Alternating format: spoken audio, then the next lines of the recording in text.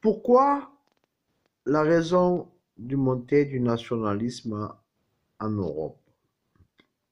C'est tout, c'est tout simple. Pourquoi les gens... Vous croyez un immigré ou enfin un, un étranger qui vient dans nos pays en Europe pour travailler ou pour vivre correctement, il a le droit. Mais à quel prix? On va payer. Et plus, il prend le travail des Européens. Alors moi, j'ai une idée. Parce que, enfin, c'est pas la faute des immigrés ou des étrangers. C'est pas la faute des Européens.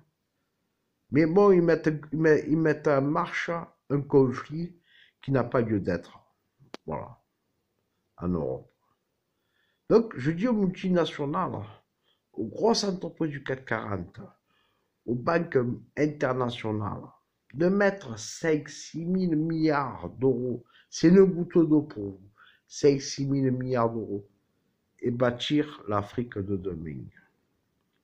C'est-à-dire avec les technologies pour l'irrigation d'eau, toutes les technologies sont photovoltaïques, les technologies euh, pour l'agriculture, euh, pour, la, pour la recherche minière, pour faire plein de, plein de choses à faire dans ces pays-là. Et les gens ils retourneront chez eux.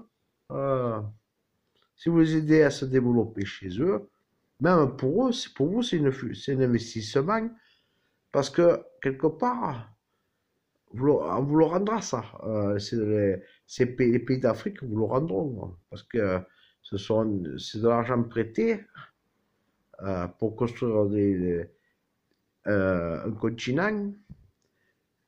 Mais derrière, c'est du commerce, hein, parce que quelque part, il faut tourner leur boutique à eux et il faut tourner leur boutique internationale. Donc, euh, voilà, c'est que. Et ça évite des guerres, des, métastases de guerre partout, euh, des, futures guerres que, ça n'a pas lieu d'être. Euh, voilà, donc, voilà. Faudrait, faudrait, donc, moi, je le dis personnellement et ce que je pense, voilà pourquoi il y a une montée du nationalisme en Europe. Voilà. Voilà, donc faut, faut, faut, voilà.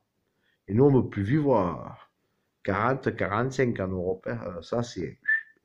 On ne peut plus entendre parler de ça, non Voilà, donc. Euh, version 2000, de, version 21e siècle. Hein. Non, non. On ne peut pas l'entendre, ça, non. Nous, en Europe, on a souffert.